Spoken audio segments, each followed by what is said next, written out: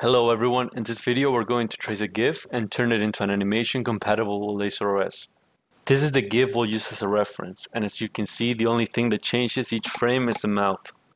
We're going to use Photoshop to transform it into PNG files and Illustrator to turn each frame into SVGs.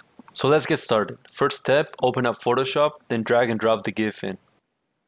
As you can see the GIF is loaded with each layer, so to export, open File menu in the toolbar, then go to Export, Layers to File. Click Browse and make a new folder where you're going to save these reference files, then click Run. Once you're finished, open up Illustrator and we can start drawing. Make a square canvas and click Create. Since we have 23 files, I'm going to make two sets of 23 layers. I'll start by selecting all the image files and dropping them in Illustrator. Once they're loaded, I'll resize the part I want to make an animation by having all 23 images selected. First set, I will import each image to its own layer. And in the next set, I will make each layer after one of the images. These are the ones we are going to draw in.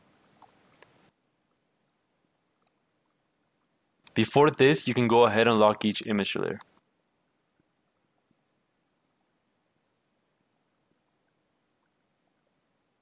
Now I'm renaming each layer for reference purposes with the frame number.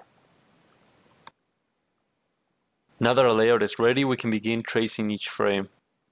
As I previously said, the only thing that changes is the mouth.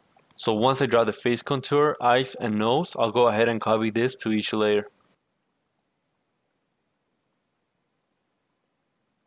Now all that's left is to draw the different mouths.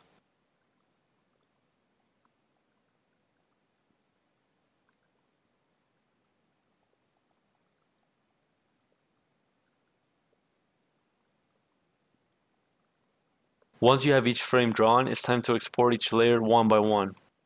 There's a few things to keep in mind. First, they have to be in SVG format. The files need to have a name prefix that ends in underscore followed by the frame number.